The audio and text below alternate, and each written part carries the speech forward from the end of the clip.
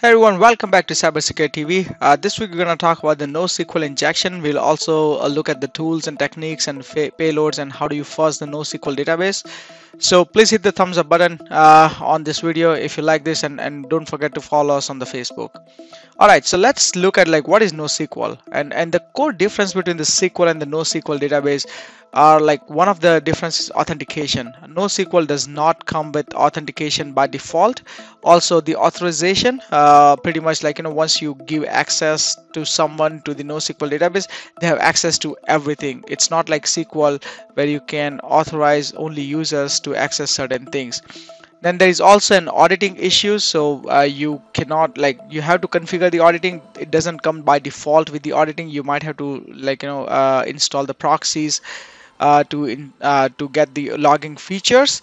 And then encryption is as well uh, not all the database come with encryption. However in today's demo we're gonna see one of the uh, most popular database and then we'll see how do you exploit that.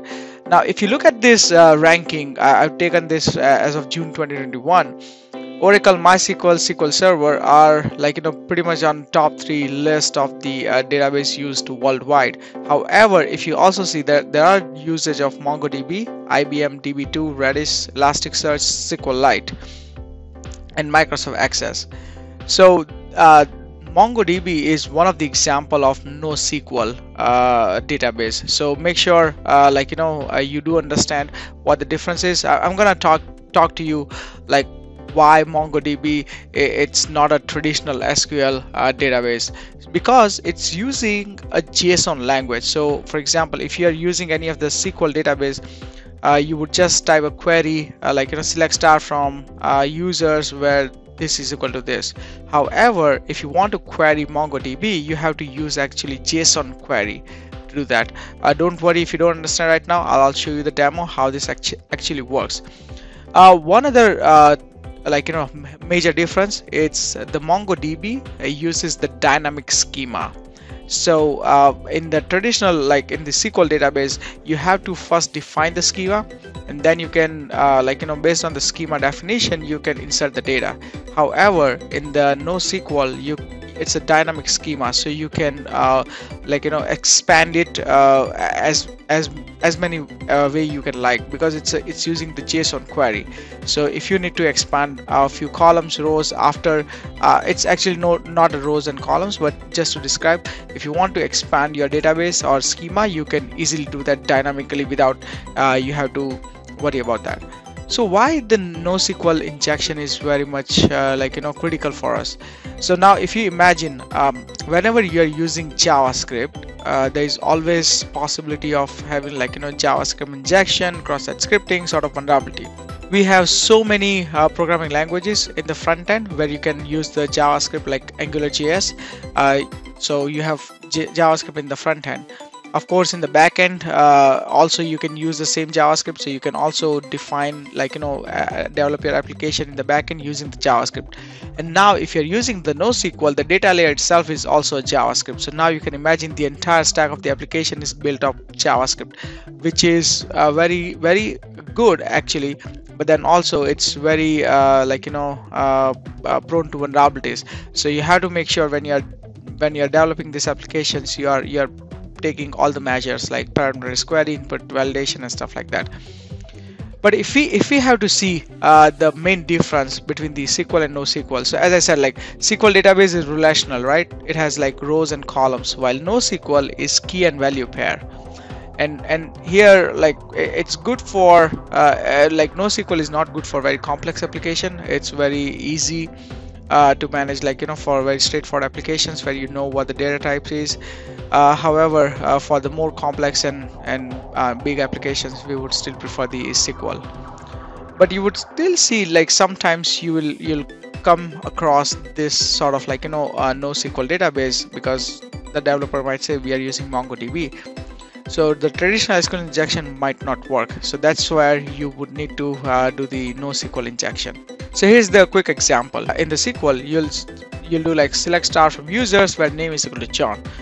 If you want to apply the same query to NoSQL, you do db.users.find name and then John. So you could see this is actually in the JSON format how you do that. Uh, payload is uh, same as what we would see in the SQL injection. So instead of where directly, we will use dollar $where operations.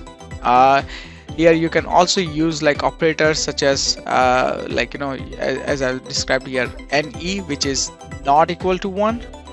And and so whenever you want to have like you know false condition you can also do not equal.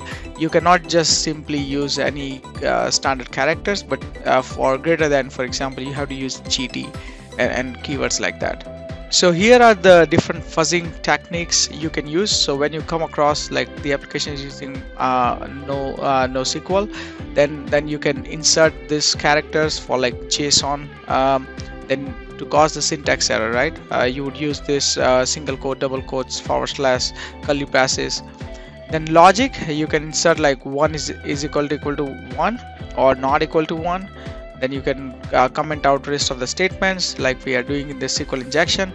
Then the operators as I said like greater than less than not equal to and regex and exist and where so you can use these operations uh, like uh, to query uh, the database. And then uh, you can also do like a MongoDB specific commands which is get collection names. So in the SQL we are using like version or or uh, users and, and stuff like built-in commands. So you can use the same commands once you confirm the SQL injection. But so how do you exploit the SQL injection? So there, there we, we're gonna take the same approach like we do for any other SQL injection.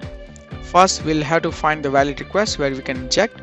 Then we're gonna try and cause a syntax error. Once we do that we will modify the query with the operators like we saw in the earlier slide then we'll send the logic logic to get multiple records. So like we'll do not equal to equal equal to and, and bypass the logic.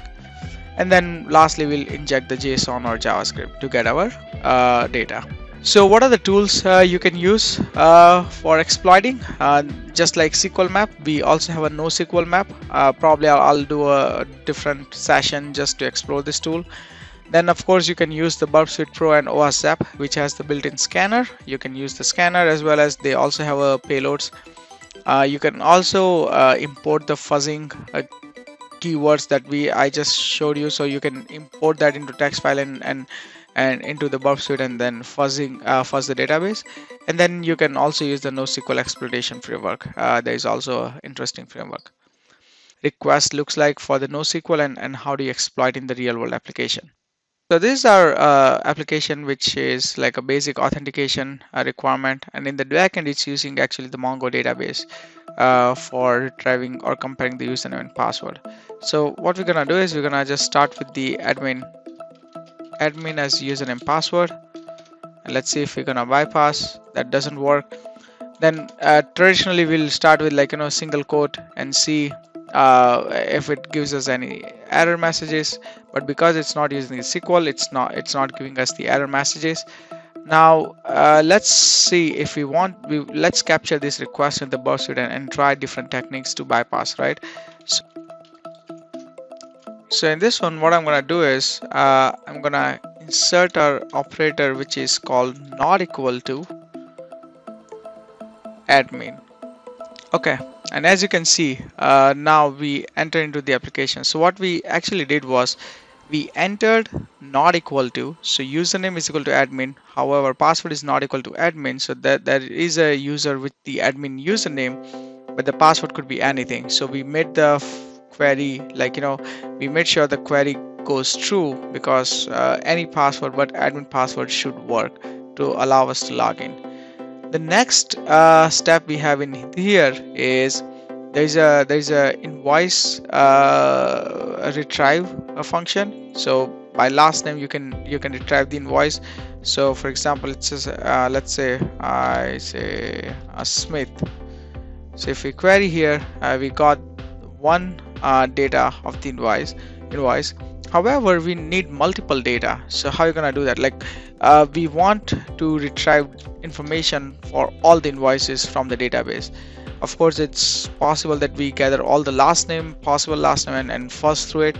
However if we attempt in a way that uh, will will say to the application just give us everything which is equal to uh, which is not equal to blank as a last name it's gonna retrieve all the data from the database. So let's attempt that. So I'm gonna do this. I'm gonna intercept the required thing.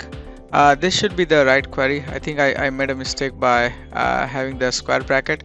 But yeah we should put the curly braces here. And then uh, not equal to operator in within the double quotes and the value of it should be blank. So whenever it finds the field last name but the value is not equal to blank it's gonna give us the records so now if we go back to our uh, system here and we can see we did get the results for all the last name instead of just Smith so that is how typical uh, NoSQL injection works. Uh, validation, uh, you just need to make sure uh, it's using the parameter query, input validation, and, and uh, like pretty much same thing what we have seen uh, for the SQL injection. Uh, so that's it for this week. Uh, I'll, I'll, definitely see you guys next week. Please hit the thumbs up button if you haven't already and subscribe to my channel. Don't forget to follow us on the Facebook and I'll see you all next week. Thank you.